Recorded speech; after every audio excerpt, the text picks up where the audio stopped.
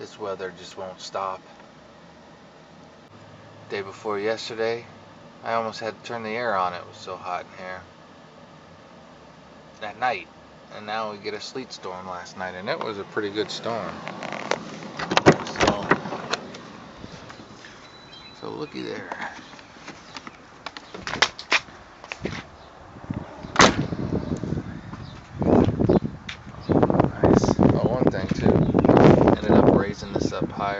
put on some 2 by 6s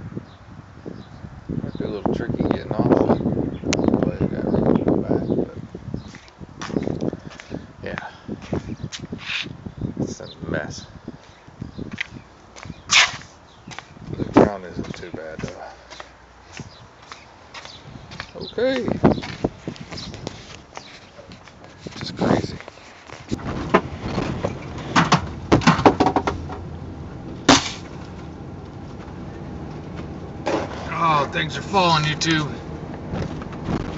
Better pull over. Okay, everything's set, ready to go. Turn right. I stayed about a week, YouTubers. I uh, had a good visit with the dogs, taking care of them, and then stayed a couple more days with family. Had some great meals cooked at home, had some great meals out to eat. Nice Lebanese restaurant that was awesome. My aunt is a really good cook. Some In one quarter mile, turn left. had some pad thai and whatever and co-pilot up there by the coffee pot i think. She's ready to go home. It was amazing. It went from 80 one day the next day had a sleet storm from hell. I mean at night it was coming down pelting the rv woke up and it was there was about an inch of sleet slash snow and then last night it was cold again it was in the 20s and now, although the sun looks bright, it is uh, about Turn 40 left. degrees. It's just nuts. Supposed to warm up in the next couple days, but winter, you won. We give up. Uncle, no moss. Leave us alone. Let's see if I can piss the whole world off. Yep, you're gonna have to get on your brakes, dude. In two and a half miles, You'll be fine. left.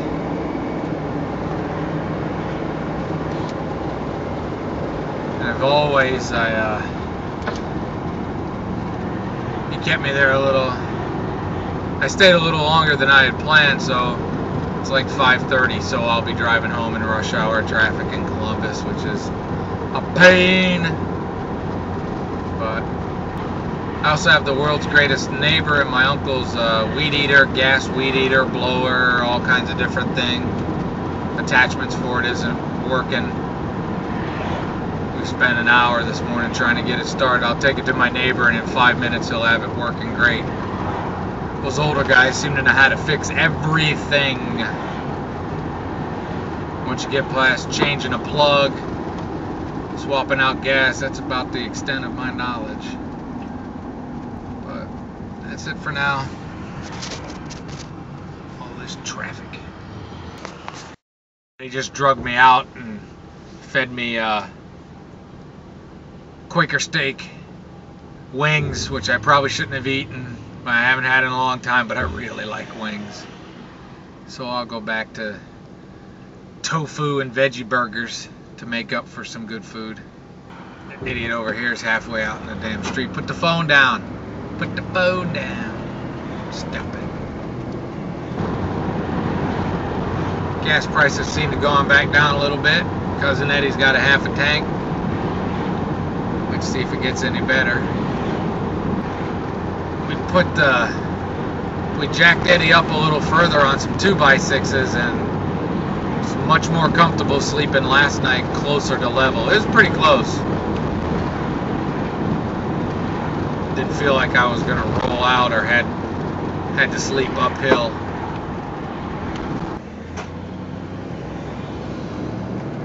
But a by Polaris mall and that's where all this traffic's coming from. It's a nightmare.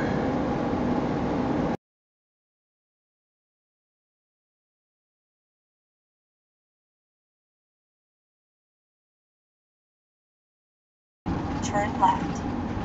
No, I'm not going that way. I'm going the way I want to go. This turn coming up can be a bit dysfunctional. Quick right and quick left, and seven miles of traffic in between. It just depends on how nice people want to be. Usually not very. Turn right, then turn left.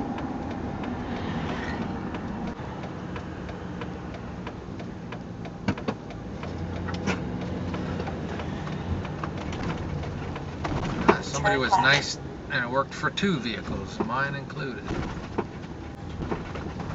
Goes through the battlefield and try to turn left up here. And these idiots, they won't. Very few of them will be nice about it. They'll back up and block block the whole thing even though they don't have anywhere to go.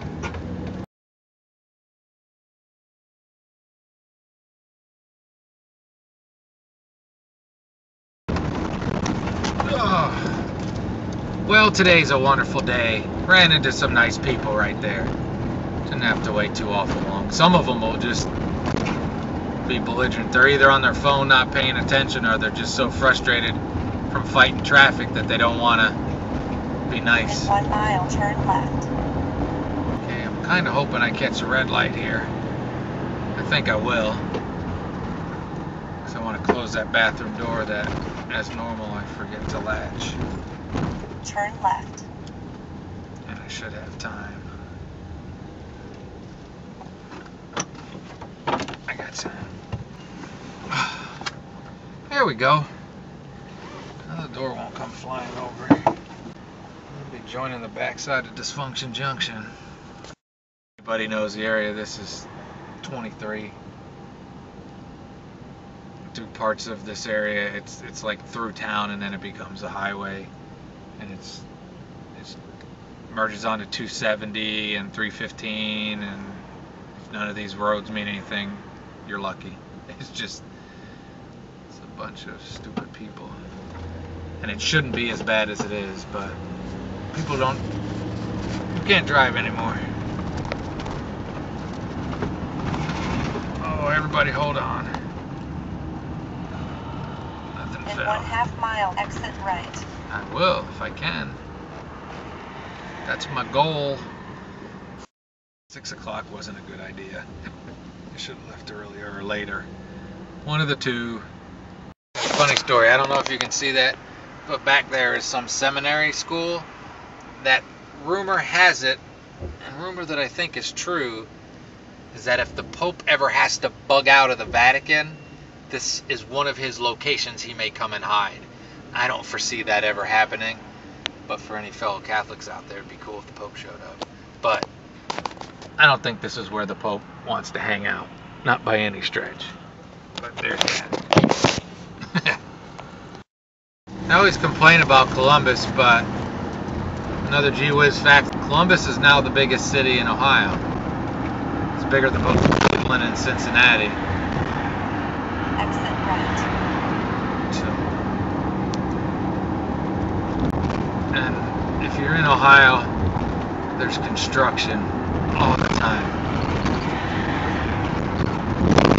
Oh, sometimes it feels like it needs to be even more. I don't know where my sunglasses are. Oh well.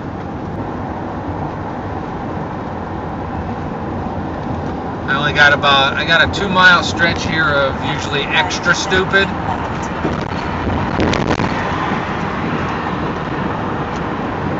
That.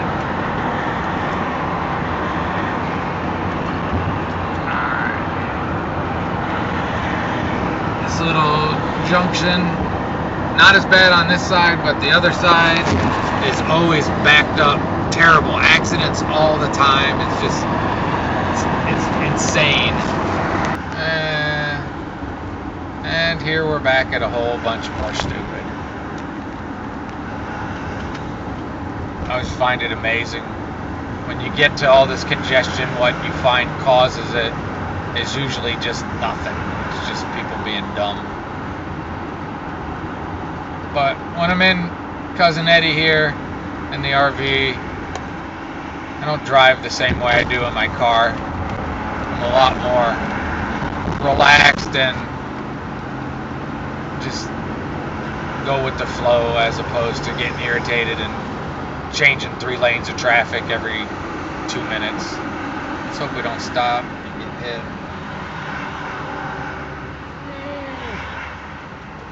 I'll just be patient and deal with it. Okay, we're through most of the stupid stuff. I'm Doing a whopping uh, 63 miles an hour. I think it's turned to 70 here, but I'm trying to draft this semi. Again, I'm closer than it looks in the camera. And there's enough traffic that I shouldn't be pissing him off and I move over every now and then so he can see me in his rear view.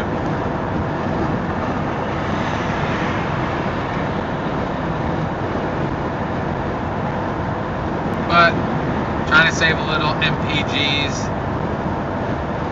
and be easy on be easy on cousin Eddie. I don't feel the need to be doing 75 miles an hour in this guy all the time. Especially when he needs two new sneakers and uh, probably could use an oil change. Oh, but it's a nice day. It's not as warm as it looks though. It's crazy. Have a great and wonderful day.